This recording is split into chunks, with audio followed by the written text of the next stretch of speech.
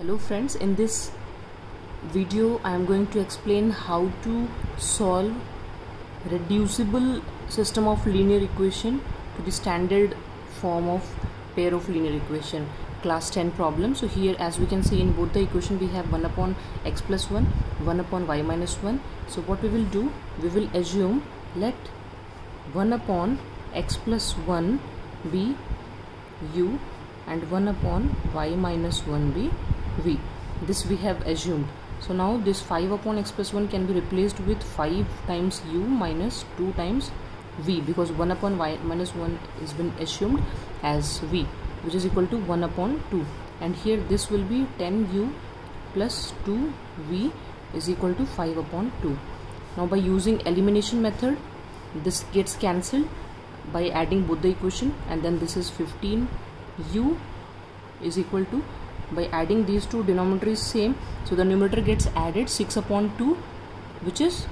6 upon 2 which is 3 so here we get uh, after addition value 3 and u is 3 upon 15 which gives 1 upon 5 because 3 5 is a 15 now what we assumed u as u is nothing but 1 upon x plus 1 so here we will replace u by 1 upon x plus 1 is equal to 1 upon 5 now reciprocate both the sides we get x plus 1 is equal to 5 and x is equal to 5 minus 1 which implies x is 4 so the value of x obtained is 4 now let's find the value of y. So what we will be doing? So for this uh, let's uh, substitute value of u in any of the equation so here value of u obtained was 1 by 5 so let us say this is equation 1 so put in equation 1 the value of u. So we get hence uh, this 1 equation 1 implies 5 times u and u is 1 upon 5 so this will be 5 times 1 upon 5 minus 2v is equal to 1 upon 2 now this 5 and 5 gets cancelled. Only 1 is left. Minus 2v is equal to 1 upon 2 then uh, let's shift this minus 2v to that side. So it will be plus 2v and 1 by 2 to the left hand side minus 1 by 2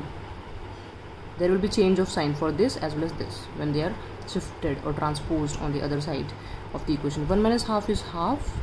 This is equal to 2v which is 1 by 4 is equal to v. So value of